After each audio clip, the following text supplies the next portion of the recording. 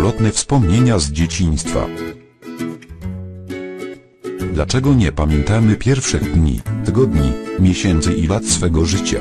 Naukowcy już wiedzą, dziecięcy mózg jest przez pierwsze trzy lata naszego życia mocno przeładowany i dlatego najwcześniejsze wspomnienia nam umykają robiąc miejsce dla ważniejszych aspektów naszego życia.